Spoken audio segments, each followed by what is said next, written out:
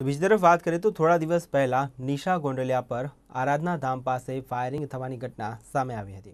તે ઉપરાંત બહુચર્ચિત બિટકોઇન પ્રકરણથી ચર્ચામાં આવેલા. તો બીજી તરફ વાત કરીએ તો તાપી જિલ્લાના ડોલવણની ઘટના સામે આવી હતી, જેમાં તાપી જિલ્લાના ડોલવણમાં સોળ દિવસની નવજાત પુત્રીને જાડીમાં ફેંકી દેનારા ક્રૂર માતાને પોલીસે ઝડપી પાડી છે. ડોલવણમાં દાદરી ફળિયાની અંદર રહેતી એક જનેતા પોતાની સોળ દિવસની દીકરી સાથે ગુમ થઈ હતી અને આ અંગેની ફરિયાદ તેના પતિએ લખાવી હતી.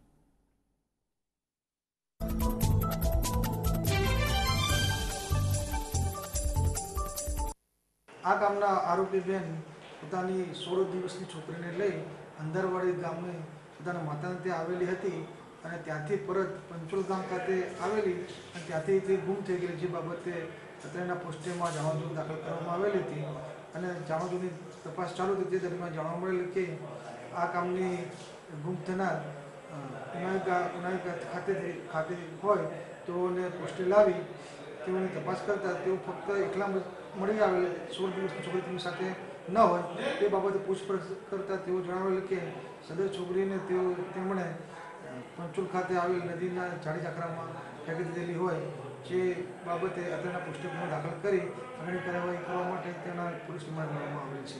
આ છોકરી તેજી જવાનું કારણ તપાસ હાલમાં ચાલુ છે. તપાસ કરીને આ તપાસ કરવામાં આવશે.